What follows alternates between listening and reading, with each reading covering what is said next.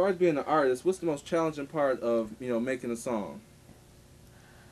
I would say um, just the arrangement, maybe. Oh, I guess.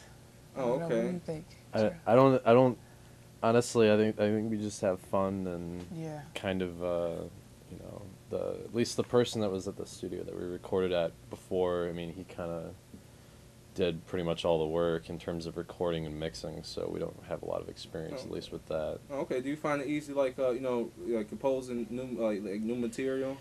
um usually the way the songwriting process works is either she'll come to the table or I'll come to the table with sort of a kind of a beat or sort of a riff and I'll just kind of feed off of what she's doing or vice versa um you Yeah. know. Yeah. So it's like a jamming process, and then we create from that. The song doesn't really start out as a song. It sta- starts out more or less as just sort of a like a Jam. jam session, and then we kind of will make lyrics to it, or you know, make arrangements to it. You know, Yeah. structured. Is it um, easier to record or mix a song, and why? Well, to me, um, recording can be a repetitive process, a little monotonous. I like mixing myself. I feel that's easier. Uh, it's more of an art form. I get to put my own uh, stamp on the project in a sense.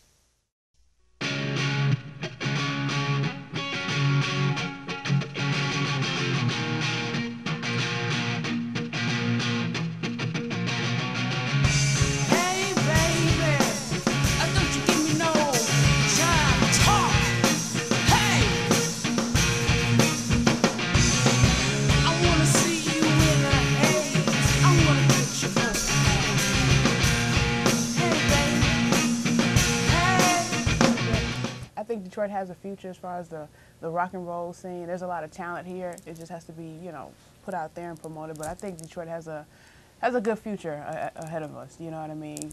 We kind of get overlooked and overshadowed, but I really think that there's a there's a there's a gem. You know what I mean in, in Detroit. All right, uh, guys. Now, uh, like Motown was big, you know, like in the '60s and '70s.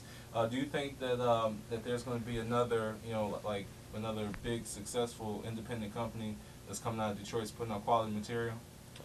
Um. Yes and no.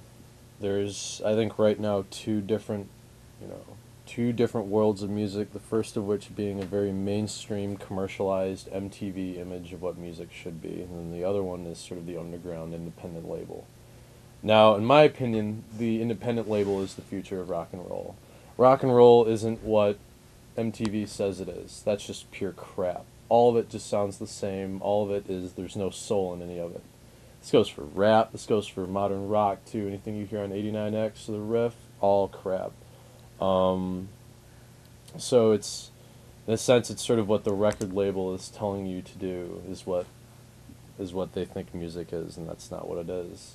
I don't want to be told by some bigwig in some corporate office that my music sucks because this and that. That's that's crap. I'm not going to do that. I'd much rather, I'd almost much rather be on the underground circuit and have sort of a small following than be very famous, have lots of money, and be in that kind of a situation. I want to make music that I think is cool, that I have fun doing, and I don't want to be told by anybody what sounds good or not. Part of being a recording artist do you enjoy the most? Chicks, the booze, the drugs. creating, just jamming and just playing from your heart, just doing whatever, you know, not obeying any type of rules or living up to anybody's standards, you know, just being your own person, you know what I mean? Just totally having all freedom and just total range to do whatever it is that you want to do and just play as loud as you want to, you know.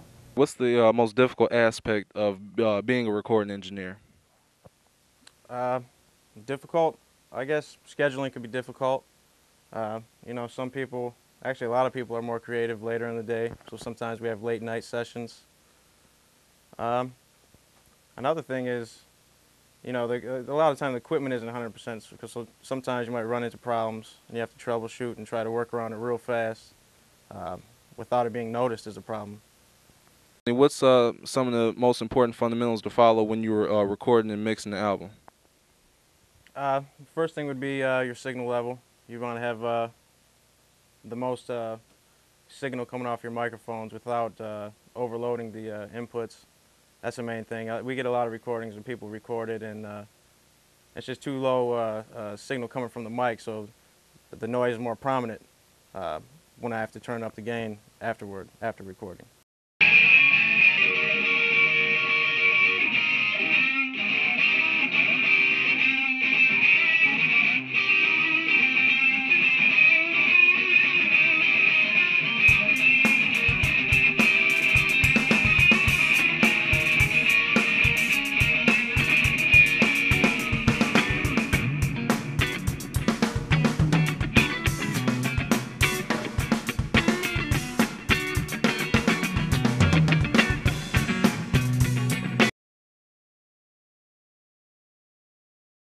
And the most difficult part of putting out an album is the promotional uh, process, man, because you got billions and billions of people out here in the world, and you got to reach them. So you know the promotions got to be airtight. The marketing and the strategy that you put into the promotions is the most difficult because you got to reach a large mass, and then you got to sit back and appease the people who don't rap, who like rap, who don't see visions like you seeing because you being an artist. You know what I'm saying? And it can be a little frustrating and then you know 50 states and then all these cities inside each state you know footwork and everything is just you got to put extra energy into that. So like i said that's the hardest part is the promotion part.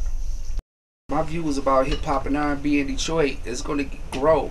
It's going to grow faster and faster at a rapid pace man because you know this is motown you got tons of talent here and everybody's just going to keep growing. And detroit a lot of people make money so it's going to be people here that's going to build foundations, management companies, production companies, more studios is going to be built here because it's just too much talent up in here. And then from that, that's going to allow the big people from other places to reach here.